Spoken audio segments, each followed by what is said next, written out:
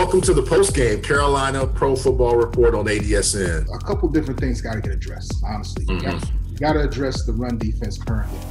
Defenders are starting to turn their shoulders to the sideline.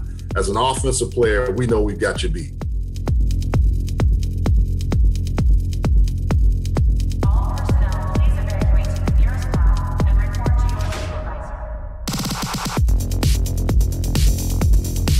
They're just being gashed by every team that they played against this year.